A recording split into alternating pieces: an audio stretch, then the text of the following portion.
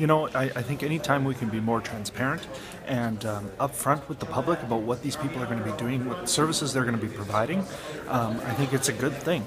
Uh, I'm still not 100% convinced that we needed all the FTEs last year that, that we uh, that we were asked for and that, that we uh, approved. Um, but I'm encouraged by seeing reports uh, justifying each new employee that has to come through the corporation. Why haven't we filled them? Obviously, they weren't vital roles, and why can't these two that uh, we heard about today? Why can't they just fit in under that umbrella? I think we're going to have a different discussion at budget this year than we did last year.